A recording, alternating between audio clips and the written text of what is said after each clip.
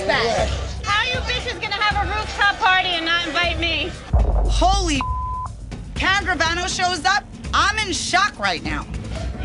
Nobody's happy to see me? Who want to see you? You're locked up half of New York. I'm gonna use the bathroom.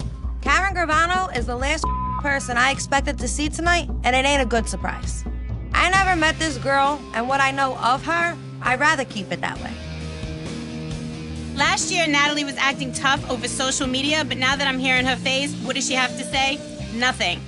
Bye, bitch. Bye. Let's go. I wanna leave now. I'm outside. I'm walking out. I'm leaving. I think of Alicia instantly because Karen's father did kill Alicia's father-in-law. Let's go. This bitch is a murderous rat daughter, and I'm not gonna be around her. I gotta get the out of here. I can't be in the middle of this. Sorry. Next. Baby, I love you. Trust me, I'm out of here. When I see Natalie leaving, it was like when you flip on a light and cockroaches run. That was that little bitch, Natalie. And it looks like the tables have just mother turned. I don't know what Karen's agenda is coming back here to New York, crashing our party.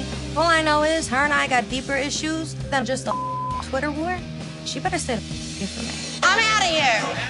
Natalie, you might have gotten away tonight, but you can't hide forever, bitch.